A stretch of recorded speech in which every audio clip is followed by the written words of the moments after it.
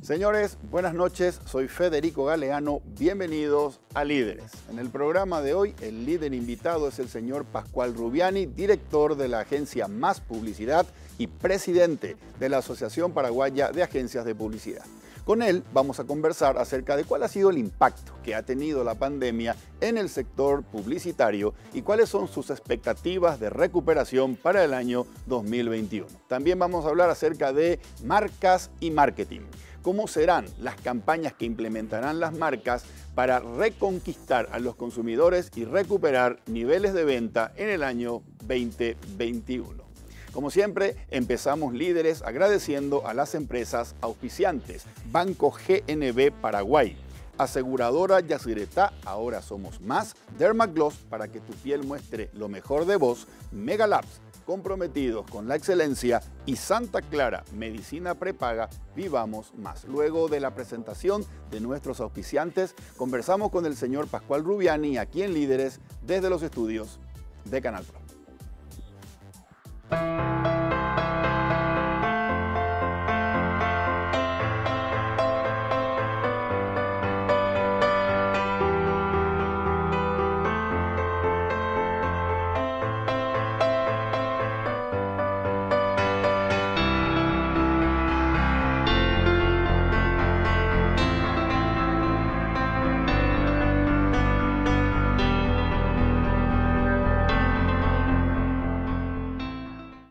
Aseguradora Yaceretá y General Seguro se fusionan y ahora somos más. Somos más los paraguayos que sí creemos, los que acompañamos tu crecimiento, los que estamos acá junto a vos trabajando en equipo. Ahora somos más los que siempre estamos cuando menos lo esperás y más lo necesitas. Dos empresas paraguayas, dos fuerzas nacionales que ahora son una. Aseguradora Yaceretá. Ahora somos más. Ser ultra es descubrir que la edad debe marcar momentos, no mi rostro. Al final del día, la crema noche protege el colágeno de mi piel y suaviza arrugas profundas, gracias a que contiene cronociclín e isoflavonas. Dermagloss Ultra Age más 50. Llévate bien con el tiempo. Las mujeres vivimos haciendo malabares, pero cuando estamos estreñidas, todo se nos complica. Para esos momentos de estreñimiento, elige Ciruelax, ahora en su nuevo tamaño, igual de efectivo y natural. Ciruelax al acostarse, resultados al levantarse. Hace un tiempo buscaba algo que me ayudara con los dolores articulares que aparecen con la edad y que complican mi día. Decidí probar Finartrit Advance. La fórmula 4 en 1 más completa desarrollada hasta hoy, que ayuda a mantener sanas tus articulaciones. Con Finartrit Advance, nunca dejes de moverte. Estoy en la mejor etapa de mi vida. Me siento como de 20. Volví a correr y para cuidarme tomo hidrolágeno todos los días. Así prevengo el desgaste articular, porque una cosa es tener 20 y otra cosa es sentirse de 20. Hidrolágeno, colágeno hidrolizado que alimenta tus articulaciones. Este es un anuncio que puede cambiarte la vida. ¿Estás viviendo o solamente estás despierto? Es tiempo de que vivamos más. Vivamos más el presente. El pasado ya pasó y el futuro depende del hoy. Vivamos más el trabajo, las ganas de ser cada día mejor, vivamos más conectados, llamemos a saludar y subamos nuestras selfies con el mejor filtro. Ser auténticamente felices. Despertate, vivamos más.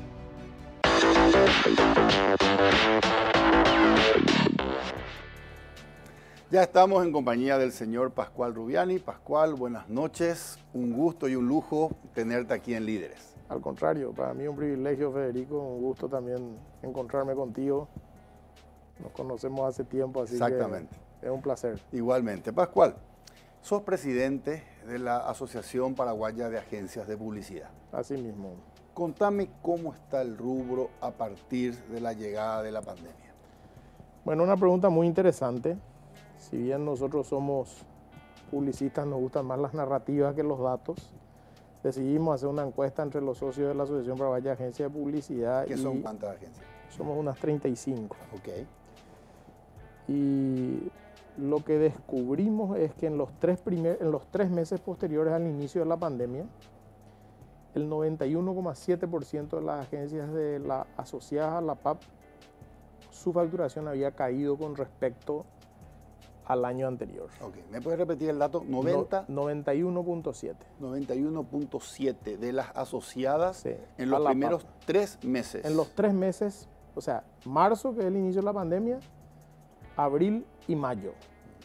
Cuando tomamos el semestre y se veía una recuperación en enero y febrero, y tomamos el semestre, el 11% de las agencias asociadas a la PAP facturaron igual al año, eh, perdón, más que el año anterior. Primer semestre. Primer semestre.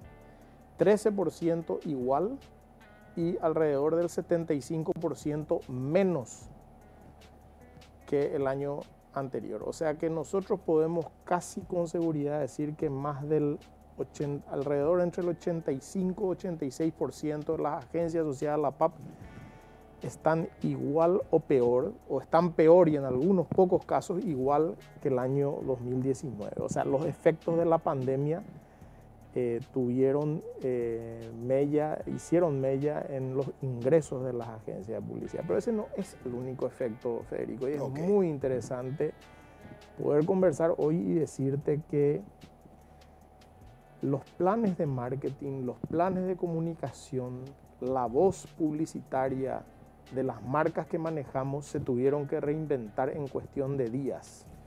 Trabajos que se hicieron en el segundo semestre del año pasado para poder tener una narrativa para las marcas en el año 2020 tuvieron que cambiar de golpe y porrazo por efecto de la pandemia.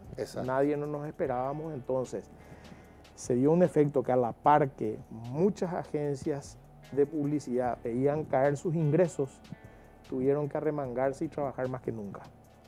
Entonces es un efecto eh, muy interesante de también poder analizar porque eh, evidentemente que cuando viene una pandemia hay un cambio en el itinerario del consumidor y al cambiar el itinerario del consumidor el relato de las marcas tienen que cambiar necesariamente porque de eso se tratan las comunicaciones de marketing, poder satisfacer las necesidades que va develando el consumidor en ese itinerario que tiene. Exactamente. Pascual, coméntame algo. Em, ustedes manejan en las agencias compañías de múltiples sectores. Sí.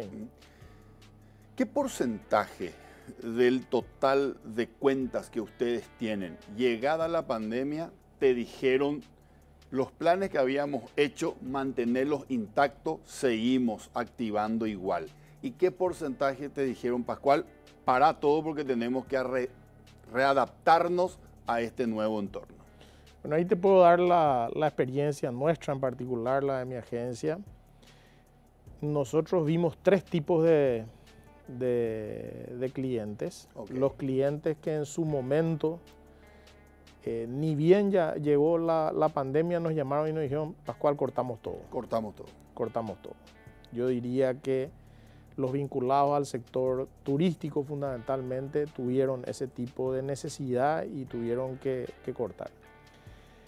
Hubieron clientes que tuvieron como una situación mixta. Necesitamos, pero tenemos que adecuar el presupuesto.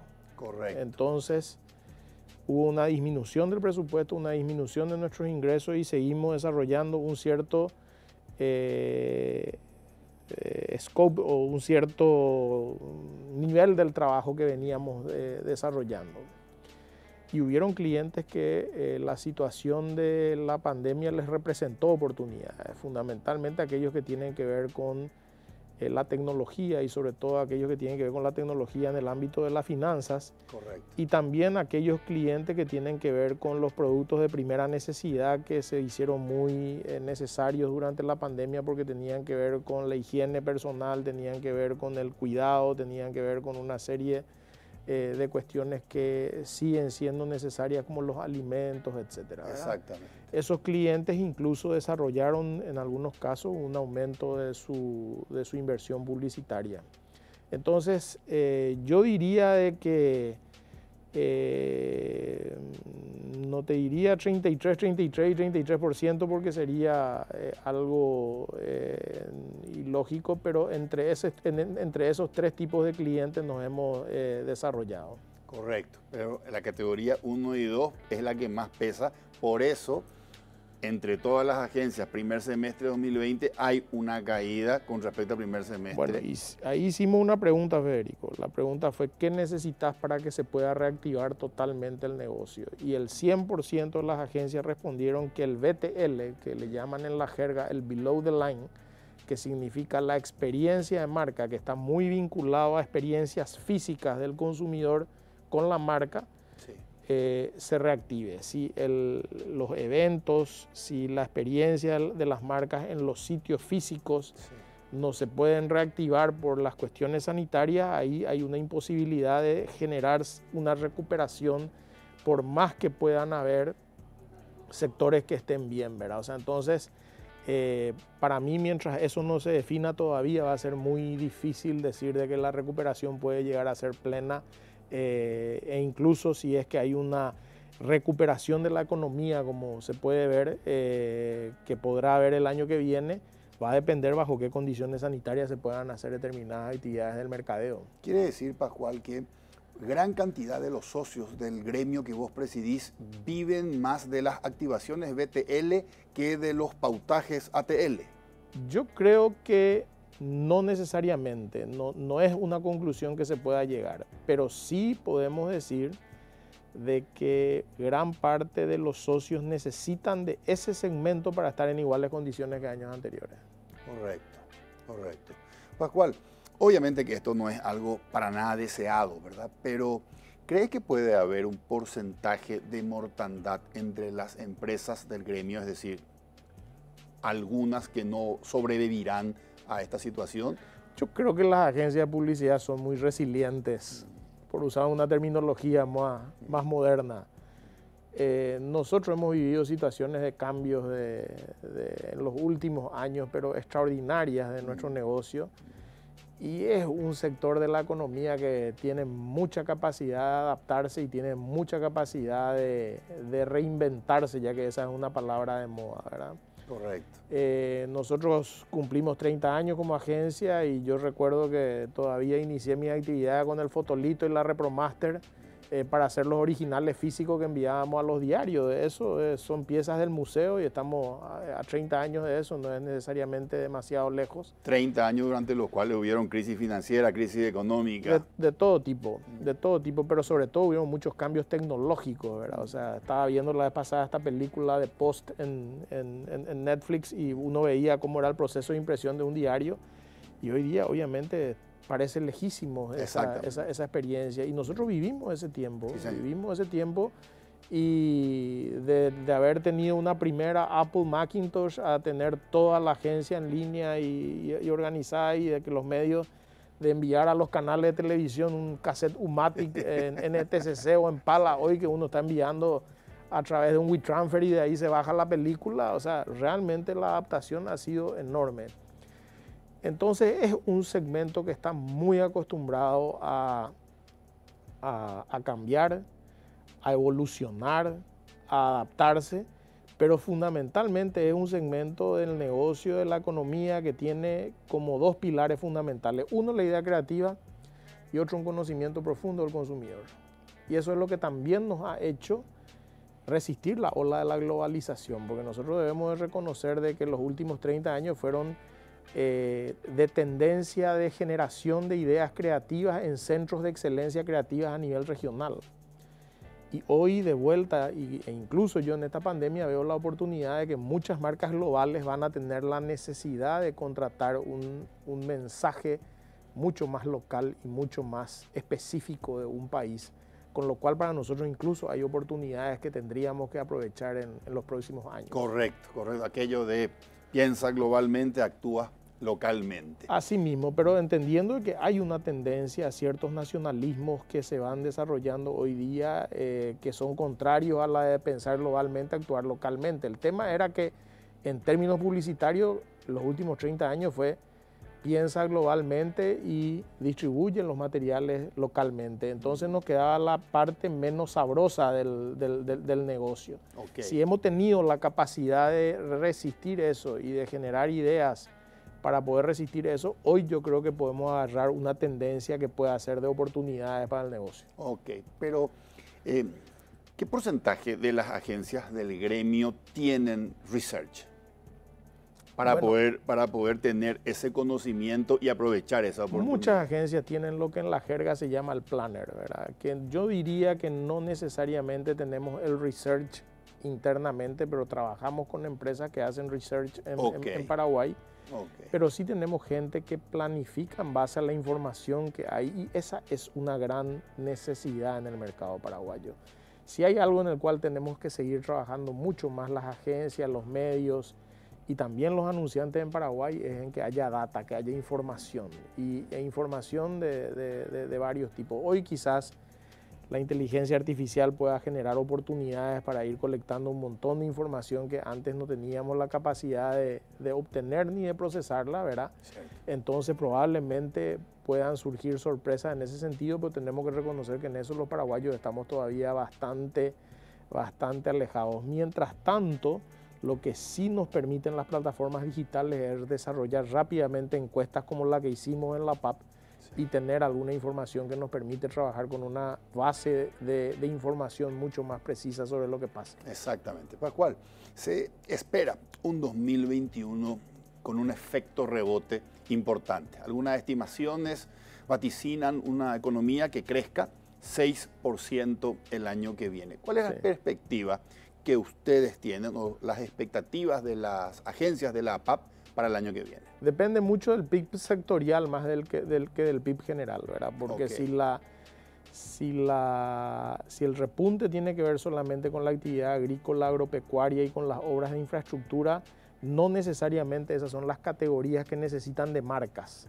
Las marcas compiten mucho más en el sector de las telecomunicaciones, de la banca y del comercio fundamentalmente y de la industria vinculada, una industria no de commodity, sino de una industria que compite en la góndola del supermercado eh, todos los días eh, o en la góndola de cualquier negocio de punto de venta. Entonces ahí es donde realmente va a estar eh, la posibilidad de, de, recuperación. Pero lo que sí te puedo decir, Federico, es que la publicidad es un buen termómetro.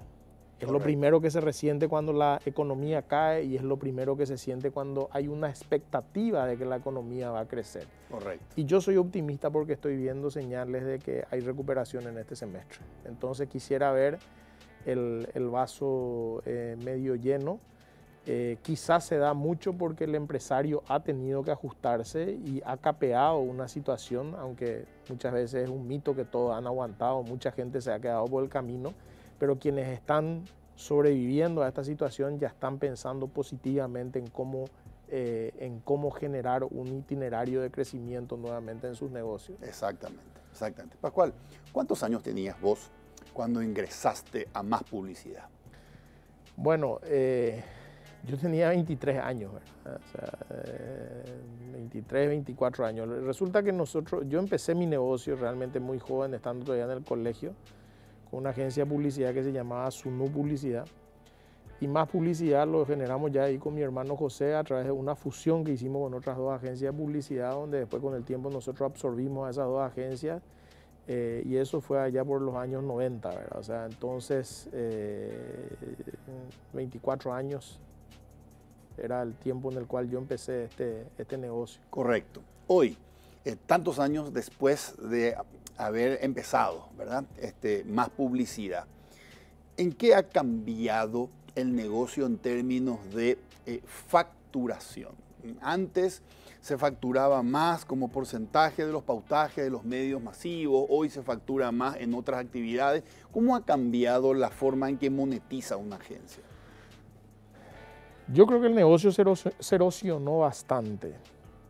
En la década de los 90, ya en el año 96, eh, la comisión tradicional que se pagaba por una inversión en los medios empezó a migrar hacia un sistema de pago por horas hombre, eh, invertidas por las agencias de publicidad en la atención de una cuenta. Y, y eso establecía una fórmula muy sencilla, horas hombre más un overhead, más un margen, te daba un monto mensual. Y ese monto mensual, en la medida en que uno tenía una buena contabilidad de horas hombre, sí servía bastante y sobre todo porque daba una estabilidad también al negocio porque eran fees de un año. Con el tiempo eso se fue erosionando. ¿Qué pasó con las comisiones en los pautajes? En algunos casos se mantienen eh, y sobre todo se mantienen también en una figura que empezaron en el final de los 90, que fueron las agencias de medios, eh, que hoy día nosotros tenemos en unidades de negocio separadas la creatividad de los medios. Y los medios se quedaron con la comisión, pero en un porcentaje menor. Y las agencias creativas fueron por el lado de, del fee mensual. del fee mensual. Okay. Y hoy día puede ser fee de cualquier tipo, porque cuando uno cobra un fee, mi querido Federico, eh, normalmente lo que, lo que ocurre es que en el mercado siempre hay alguien que cobra más barato. Y entonces eso empezó a erosionar el nivel de, remuneración de las agencias de publicidad. Y en eso no nos tenemos que engañar, porque todo empresario hace sus ajustes cuando los ingresos bajan, entonces también empezó a bajar el nivel de la calidad de los talentos que tenía la industria como capacidad de atracción en el, mercado. Y esto es muy interesante porque es una de las cosas que nosotros estamos planteando en la Asociación Paraguaya de Agencias de Publicidad. Nosotros tenemos que volver que las agencias de publicidad sea como la primera opción para la gente innovadora y hoy no lo es. En el pasado sí lo fue. El mundo de la creatividad tenía una fuerte atracción en aquel que quería ser innovador, quería ser creativo en términos de la creatividad publicitaria. Hoy no competimos solamente con otra agencia de publicidad, competimos con startups, competimos con gente que, que, con todo lo que es la economía naranja. Y eso nos tiene que obligar a volver a plantear el modelo de negocio en la medida en que los clientes entiendan de que no somos un proveedor más y que los procesos de contratación que nos hacen no tienen que ver simplemente con procesos administrativos, sino que tienen que ver con el talento y con la capacidad de agregar valor que tiene una agencia de publicidad. Si se recupera eso, nosotros podemos volver a recuperar ese nivel de atracción que tenía la industria y que sigue teniendo de alguna manera en capturar los mejores talentos eh, que dan rienda suelta a su creatividad en nuestros negocios. Exactamente, exactamente. Muy interesante, Pascual. Pascual, recién dijiste que si la expectativa del sector empresarial es positiva y optimista respecto a crecimiento de los negocios el año que viene, se va a notar eso sus inversiones de marketing. Ahora, contame, ¿cómo va a ser el marketing 2021? ¿De qué se le va a hablar al consumidor? ¿Cómo va a ser el marketing post pandemia de las marcas? Bueno, yo creo que ahí hay varios abordajes. Lo primero para mí es que la tendencia de la omnicanalidad se, se va consolidando. Ok. Y en eso tenemos que entender, eh, tenemos que entender muy claramente que eh, los consumidores de hoy eh, no van a tener paciencia con nuestros negocios si es que nos escriben a un número de WhatsApp y no le respondemos de forma instantánea o si es que hacemos un comentario en alguna red social para que nos atiendan y después de dos semanas o después de dos días nos llaman o nos devuelven el, comentario. O sea, se van a tener que instalar sistemas de atención y de, de, relacionamiento con los consumidores muy eficientes. Eh, comunicación de ida y vuelta. Comunicación de ida y vuelta muy automatizados y procesos que requieren de estar muy aceitados en eso. Y el funnel de marketing, obviamente, que nos tiene que llevar a que de la consideración, que es una de las fases que nosotros tenemos, eh, uno de los roles principales, a la compra y a la eh, retención y a la lealtad que se le pueda tener a una marca, eh, va a haber mucho esfuerzo que se va a tener que hacer en toda una estructura de mercadeo que tiene que estar muy, muy, muy afilada. Lo otro es que la jerarquía de las necesidades de los consumidores cambia. Y yo hoy creo de que eh, lo primero que, vamos a ver es que los consumidores necesitan seguridad. Si es que no hay seguridad en el 2021 de que, de que no se va a contagiar, de que no va a poder contraer la enfermedad, etc., la gente va a estar temerosa.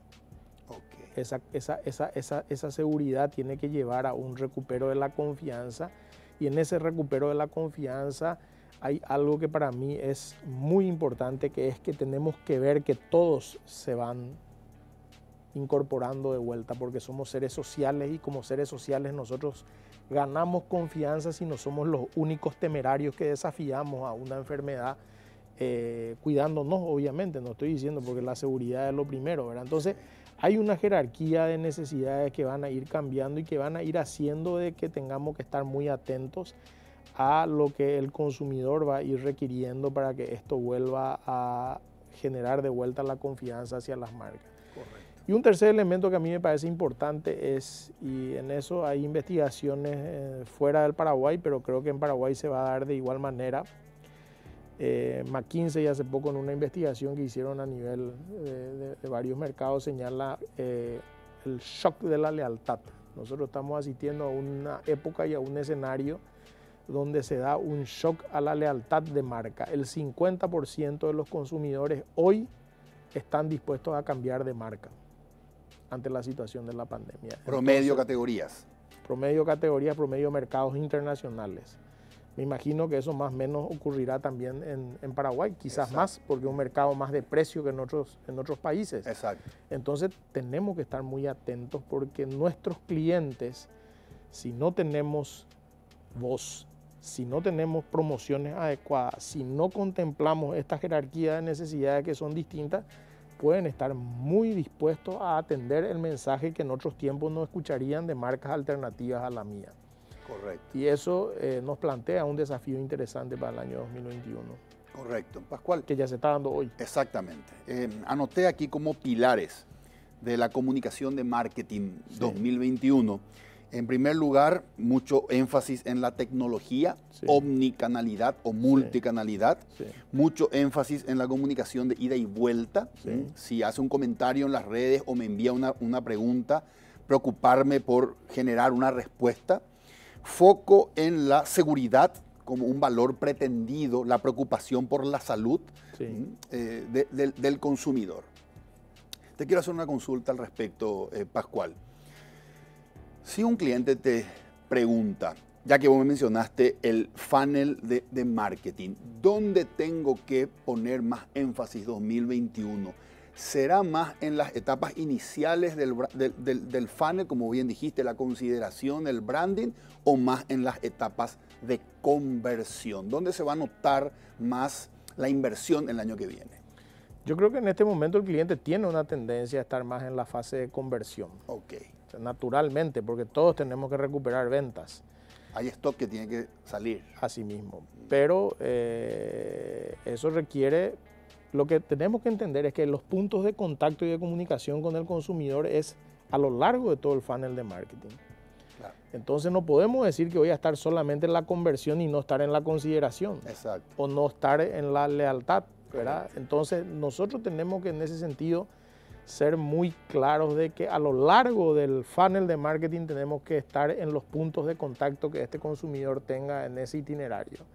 Ahora, hay un tema que para mí también es muy importante señalar, que no es solamente los puntos de contacto con ese consumidor lo que hay que tener en cuenta. O sea, no es simplemente estar en esos, en esos sitios donde el consumidor me va a ver, Cierto. sino que es también tener una perspectiva humana. Y a eso me refería con el cambio de la jerarquía de las necesidades. Exactamente. Esa perspectiva humana no tiene que ver mucho con qué simplemente hago, sino tiene que ver con qué es lo que siento a lo largo de todo lo que hago en el día. Y tengo que entender de que hoy puedo sentir temor, tengo que entender que hoy puedo sentir soledad, tengo que entender que hoy puedo sentir incertidumbre, tengo que entender que hoy puedo sentir eh, abandono, que puedo sentir aislamiento, que puedo sentir una serie de cuestiones que normalmente las marcas no necesariamente lo consideran.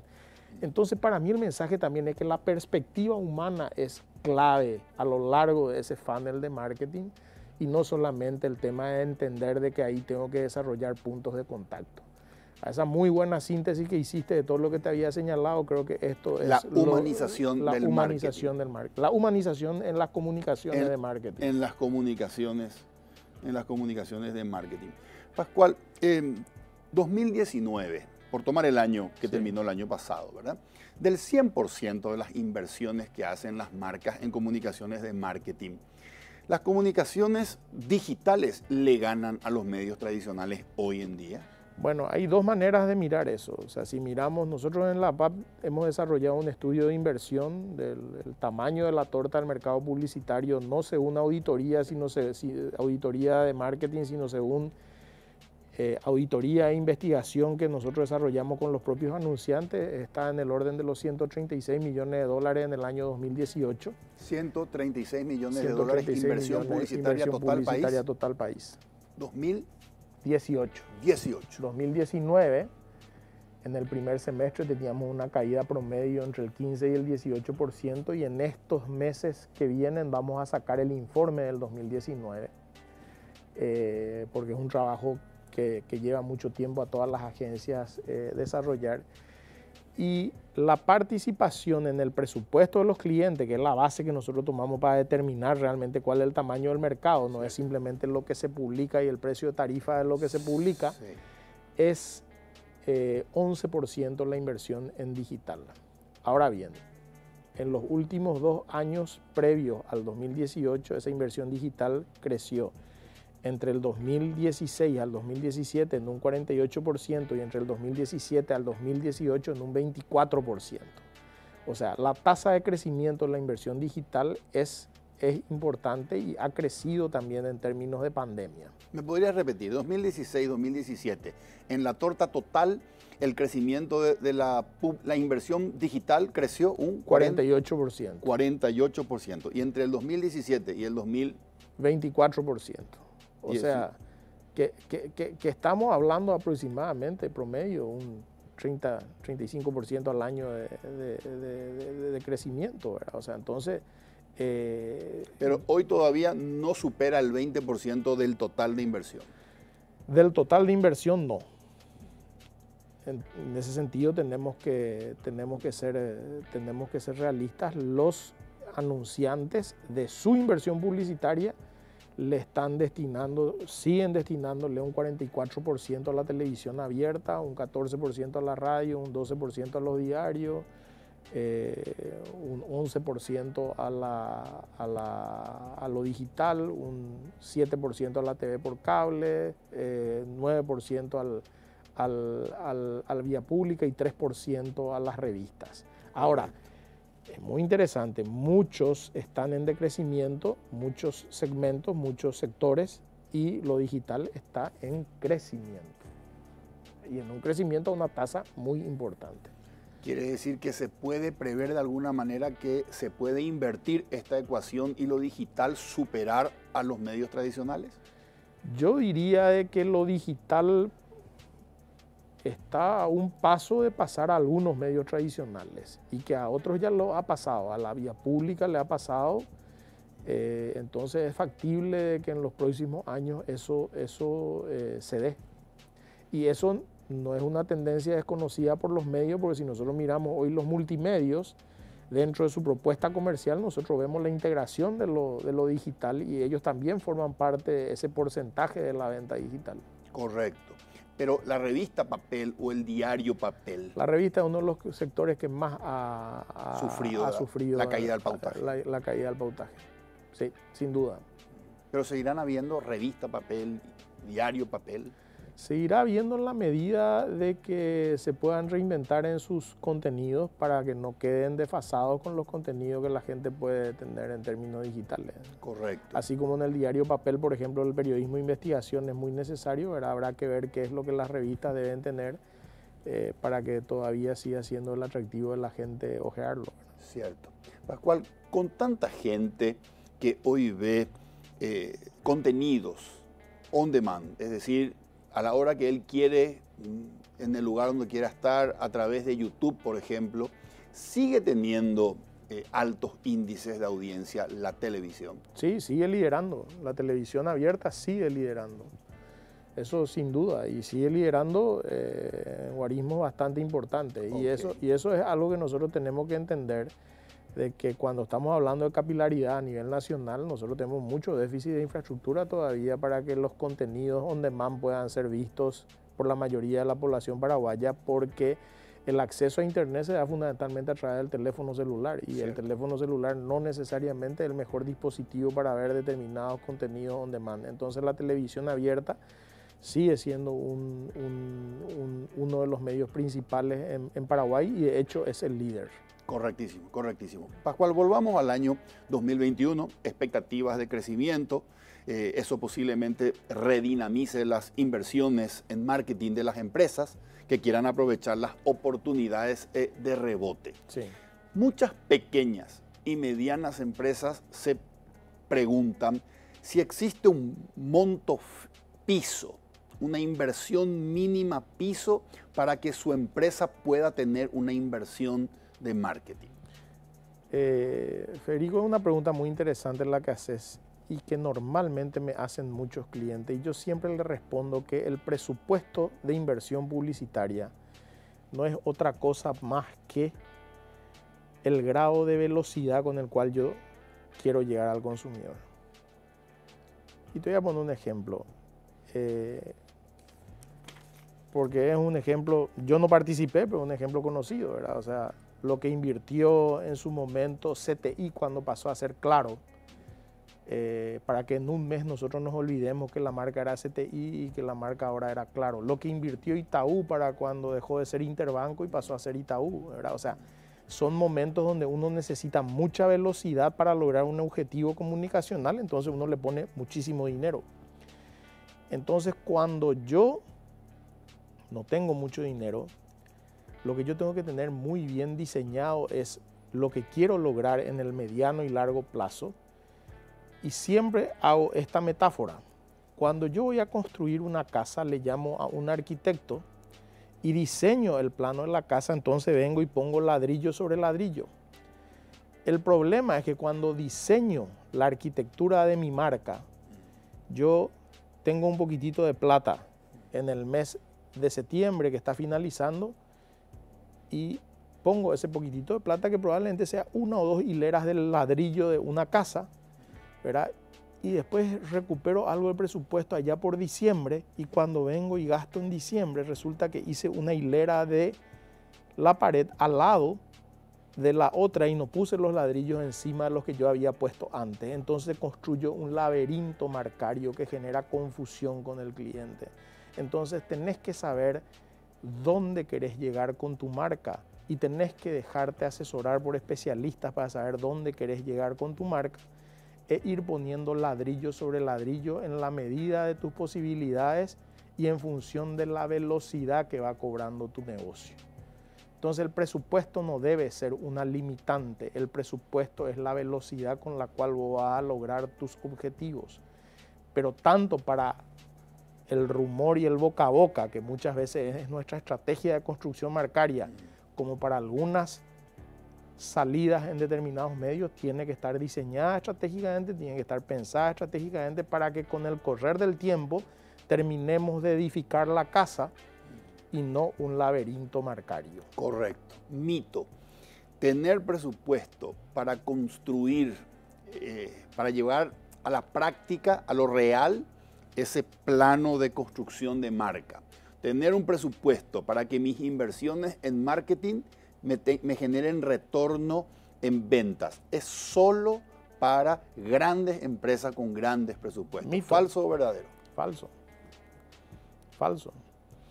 Siempre yo puedo tener un porcentual de mis ventas destinado a el esfuerzo de construir mi marca para el mediano y el largo plazo.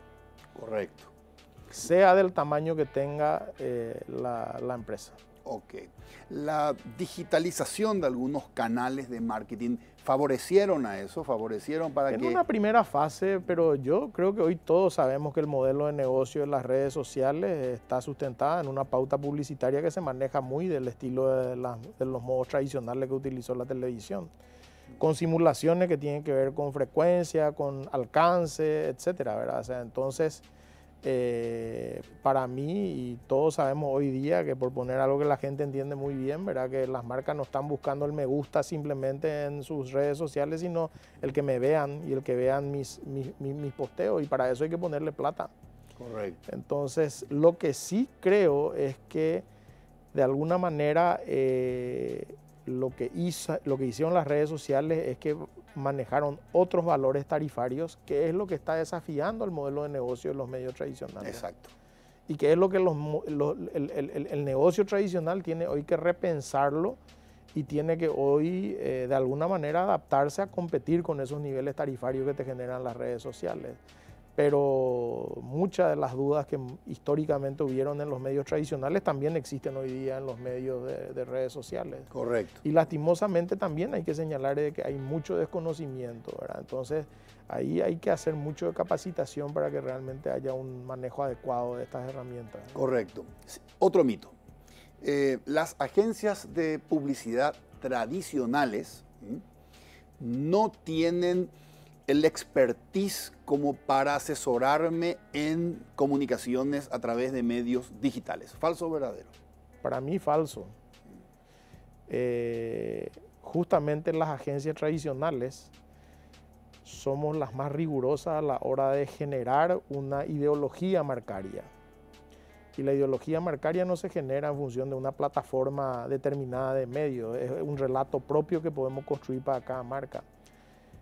Eh, después, obviamente, alguno tendrá un mayor talento para el delivery en determinadas plataformas, ¿verdad? Pero no necesariamente eso significa que las agencias tradicionales eh, no tengan esa capacidad. Esa capacidad. Y, y, de hecho, si uno mira al mundo, eh, dentro de las, de las agencias publicitarias, ¿verdad? Sigue siendo, siguen siendo las tradicionales y las emergentes que se formaron a partir de las tradicionales, las que siguen eh, manejando el negocio a nivel mundial. Ahora, hay obviamente numerosísimas oportunidades que surgen que pueden ser parte de otras disciplinas y que pueden ser parte de otros procesos dentro de ese funnel de marketing. Exactamente. Pero que para mí no necesariamente ese es el perfil de una agencia que hoy se le llama tradicional, donde su principal capacidad es la generación de estrategias de construcción marcaria, que es el valor entregado a los clientes. Excelente. Hablando de construcción marcaria, definime qué es una marca relevante. Y para mí una marca relevante hoy día es una marca querida aquella marca en la cual un consumidor está dispuesto a, ponerse una remera de esa marca, a usar una calcomanía de esa marca, a compartir contenido de esa marca. Y aquel que el cliente dice, esta marca me agrega valor, entonces yo lo hago parte de la cotidianeidad de mi vida. Correcto. Hay muchas otras maneras de definir una marca relevante, ¿verdad? Pero no quisiera entrar en esas cuestiones muy técnicas, decir el top of mind, el preference, el share of voice, etcétera, porque me parece que eh, realmente las cosas son mucho más humanas que, esas variables que históricamente y que las seguimos midiendo y tienen que ver con que finalmente yo use y quiera una determinada marca, le sea leal a esa marca y recomiende esa marca. Correcto. Esta, eh, esto que mencionaste de humanizar las comunicaciones de marketing, Em, a la hora de analizar qué significa eso para una marca, ¿de qué estamos hablando? ¿Estamos hablando de ser naturalmente uno mismo? ¿Estamos hablando de ser transparente?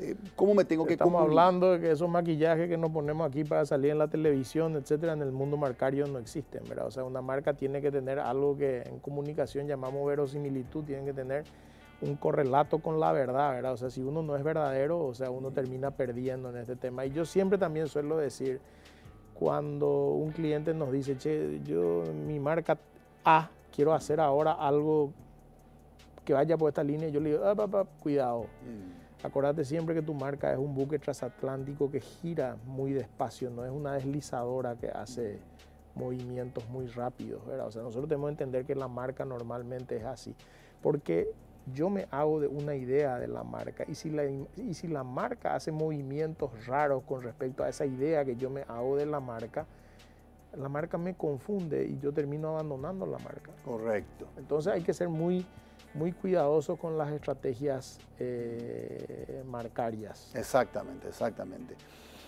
Pascual, eh, dentro de los pautajes de o de las estrategias de marketing se incluye contratar a los denominados influencers. ¿Y qué es un influencer? Bueno, sí, está muy de moda el tema de los, influencers. Ok. Eh, pero yo ahí quiero decir algo. Y a lo mejor muchos no me van a querer por lo que voy a decir. La publicidad siempre fue honesta, Federico. Cuando la publicidad habla, yo le digo al cliente, hey, esto es publicidad, o sea, esto es información comercial. La Asociación Argentina de Agencias de Publicidad, con las cámaras de medios en la Argentina y también con la Cámara de Anunciantes, han desarrollado un código de ética para los influencers, porque los influencers deberían de decir claramente cuando están haciendo un posteo o una recomendación en favor de una marca que están recibiendo una remuneración para ello. Y esa es una demanda que tenemos en la Asociación Paraguaya de Agencias de Publicidad y que lo estamos empezando a conversar con los medios. Yo cuando veo, por ejemplo, un Camilo Gaña en CNN y veo sus cuentas de Twitter, etcétera, yo encuentro solamente las cuentas de él ligadas a CNN. Yo no encuentro otra cuenta en la cual él está haciendo de influencer para determinadas marcas. O sea, entonces hay una tensión entre el mundo de los influencers, ¿Cierto? el correlato de honestidad que uno tiene que decir que yo estoy recibiendo un dinero para eh, promocionar un determinado producto. Y en ese sentido la publicidad siempre fue transparente y honesto. Esto es publicidad y nunca dijo que no era publicidad. Y en ese sentido los medios también son muy honestos. ¿verdad? Y hoy día uno puede ver las publinotas, nunca te dejaron hacer una publinota sin decir espacio de publicidad. Hoy día incluso te lo ponen como eh, Brand Lab o cosas así, o en los canales de televisión, agenda comercial, etcétera, pero uno sabe que eso no es información periodística, uno sabe que eso no es un contenido que no esté patrocinado, ¿verdad? Entonces, Correcto.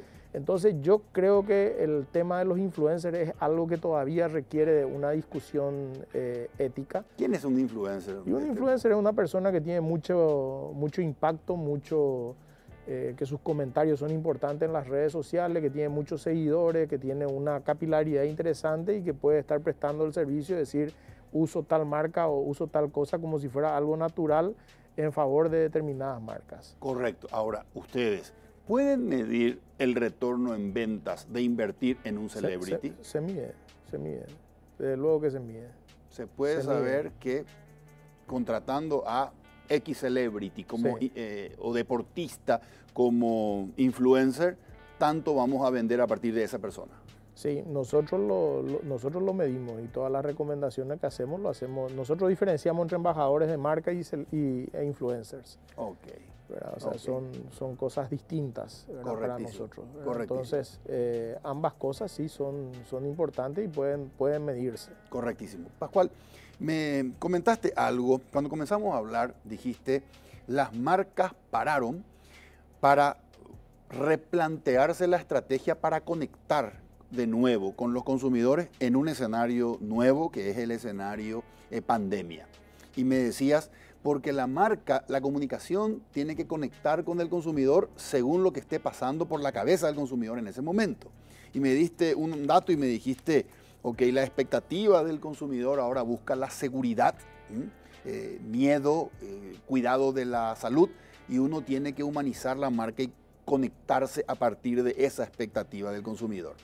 Complementame la descripción del perfil del consumidor eh, a partir de ahora. Aparte de esta pretensión de la seguridad, es decir, postergo a lo mejor el bienestar, el auto nuevo, la remera nueva, el salir de viaje, porque ahora me tengo que cuidar.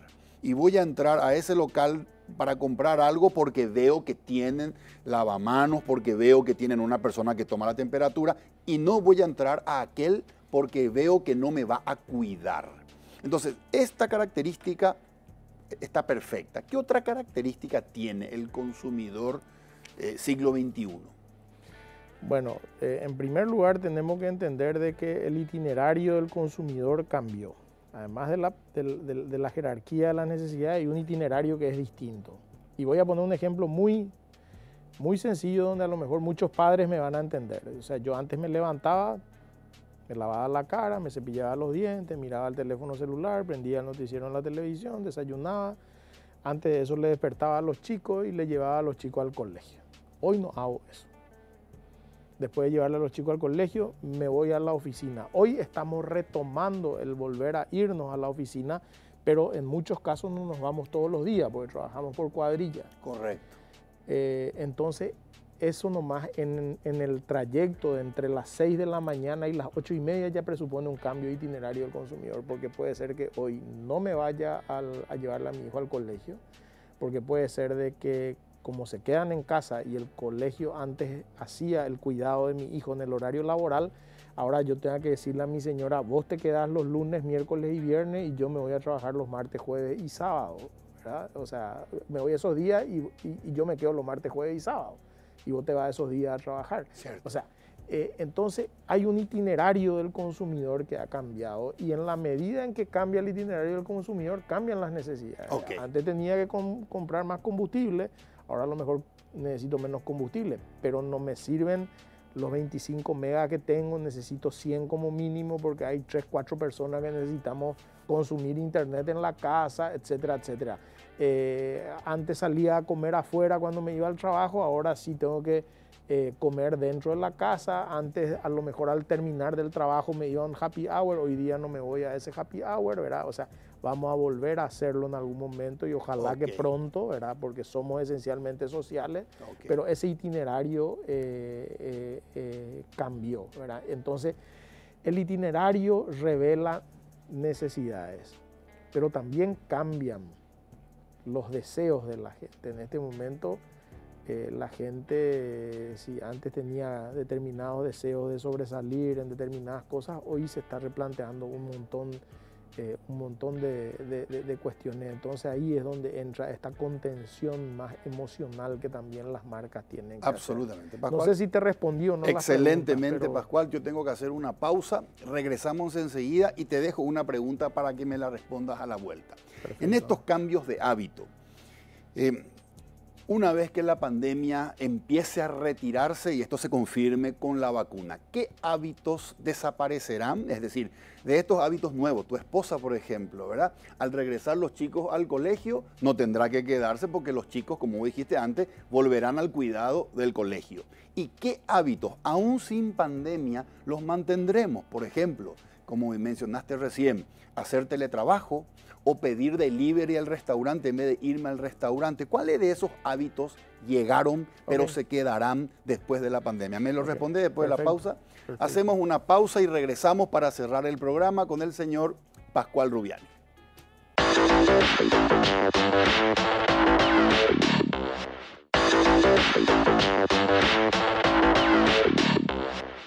Regresamos con el señor Pascual Rubiani. Pascual, los hábitos que nos han cambiado a partir de esta pandemia. ¿Cuántos de esos hábitos se quedarán? Bueno, yo soy de los que pienso de que nosotros vamos a recuperar nuestros hábitos. De hecho, que a mí me gusta mucho seguir la neurociencia y entre ellos le sigo mucho a Facundo Manes. Él habla de que nosotros estamos pasando por un proceso que él lo define como de fatiga cognitiva, ¿verdad? O sea, nosotros estamos cansados de hacer lo que estamos haciendo, de cuidarnos en este momento. O sea, eh, somos seres sociales, entonces vamos a volver a esa vida de, siempre. Pero hay cosas que sí van a cambiar y cosas que ya estaban cambiando y que se profundizaron con la pandemia. O sea, el 75% de la gente, según McKinsey, que eh, probó comprar de forma online, está dispuesta a seguir comprando de forma online. Ok, qué buen dato. O sea, entonces, eh, mucha gente que hoy día se iba a lo mejor a trabajar los cinco días de la semana o los seis días de la semana, incluido el sábado a la mañana, hoy a lo mejor va a ser planteamiento de que uno o dos días se queda en la casa a trabajar porque es tan eficiente quedarse a trabajar en la casa que, ir, a, ir a trabajar. O sea, mucha gente que antes se iba a lo mejor a determinados lugares, eh, hoy no se va a ir más Excelente. Eh, mucha gente que antes consumía eh, determinados productos, hoy con una mayor conciencia sobre el cuidado de la naturaleza, sobre el equilibrio medioambiental, etcétera, va a pasar a consumir otro tipo de productos. Una enfermedad que nos pone en jaque a quienes somos un poquitito más gorditos, como en mi caso, ¿verdad? O sea, nos va a hacer pensar mucho más en la forma de alimentación que tenemos, entonces vamos a tratar de consumir una, un, tipo de alimento más sano, etcétera. Eh, eh, si antes no me cuidaba con mi presión, hoy día sí me voy a cuidar, entonces a lo mejor voy a salir a caminar, voy a comprarme una cinta y voy a correr en, en, casa, etc. Entonces van a haber hábitos que, eh, que van a cambiar. Correctísimo. Anoté lo de fatiga cognitiva. Sí. Estamos cansados de saludarnos con los puños, con los codos. Estamos cansados de que cuando llegamos nos lavamos las manos, estamos tensos porque tenemos que usar el tapaboca o porque en cualquier cosa que vemos a lo mejor creemos que pueda estar el bicho. Entonces, eh, pero lo, lo, más interesante es que esta pandemia afecta una de las características esenciales del ser humano, que es su sociabilidad. Y estamos cansados de no poder sociabilizar. muy fuerte.